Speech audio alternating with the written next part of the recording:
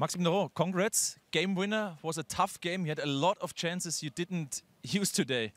Yeah, I mean, I feel like it's been like that for a little while. And our team has been struggling with uh, getting goals. We don't score more than two or three, so obviously it's uh, we got to play really good defense when we do that. And when you go down two nothing early, it's always hard when you know you, uh, you haven't scored a lot. But I think the guys battle really hard, and for our confidence, it was really big to get that win. And you know, guys in the room are happy now, and uh, it's going to be easier week to work and get and get back on track and uh, be ready for Saturday.